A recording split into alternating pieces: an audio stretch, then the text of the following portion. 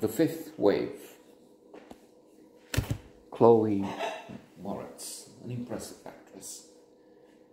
Apocalypse Armageddon has uh, quite a few uh, scenarios uh, uh, for us in films and science fiction books.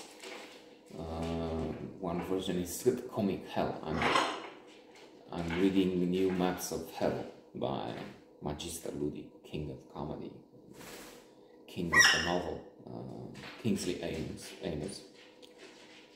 And he talks of science fiction, of, of uh, comic hell, of, of humor also in one section in, in science fiction.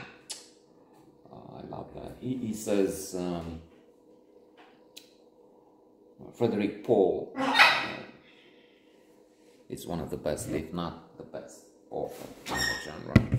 At least uh, up to the point where he wrote the book, and as long as he lived with it, maybe that stand uh, rival.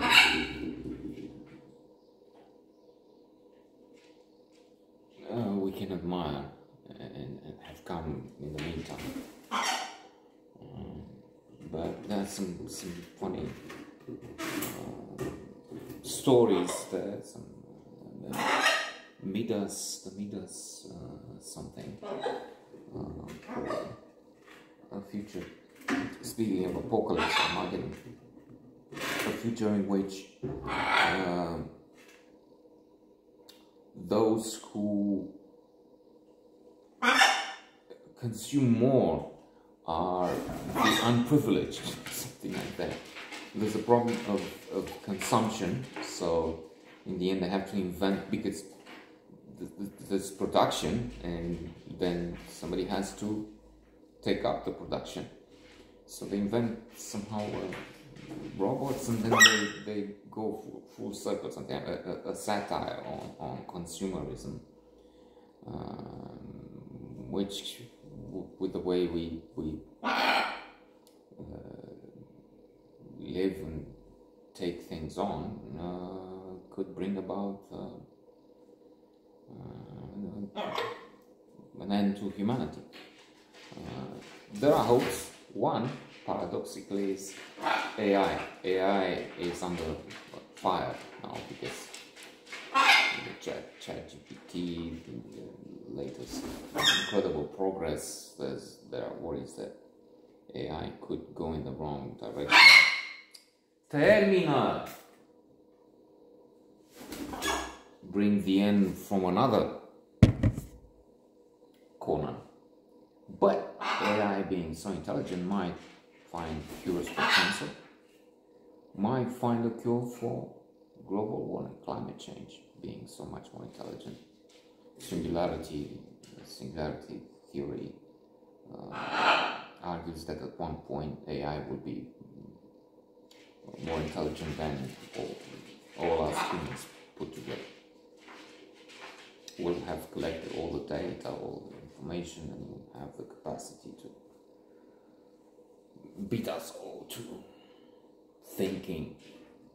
Uh, so uh, there is this, there are uh, various scenarios, or referring again to the same uh, book. Because about the film, let's in fact take a moment and say just a couple of words and a couple of words, a few words, a couple of words will be very good, not good, some more words than two. Um, mm, not really, not uh, mesmerizing for me. And that's about it. I'm coming back to something else which is not the subject, but new maps of hell, um, predictions of science fiction. He, he's also speaking of uh, Bradbury and gives some some passages from Fahrenheit 451 and uh, Montag, the, the book where the book, yes, where books will be burned in the future. And a future where there is, again, this, this uh, invitation to think of what happens. Uh, this, this um, constant search for pleasure. a society where books are not the thing, then why? Because, well, if you can get such easy pleasures, why?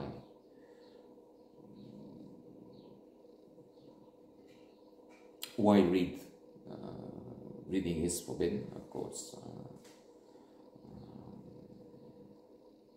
we have uh, revelation and um, reversal, as Aristotle argued that we, you need that in drama.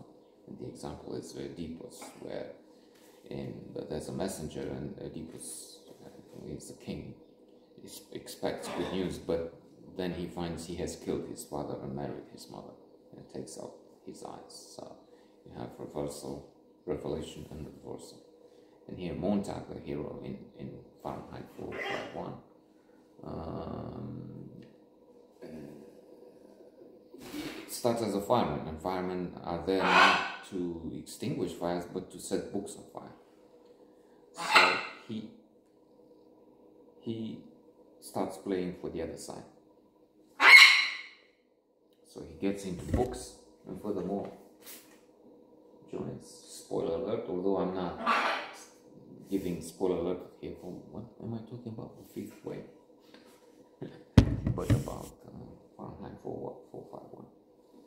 So he joins the school wherein they say books by memorizing them. So that uh, there's a continuation, there's a hope for, for the future, future generations.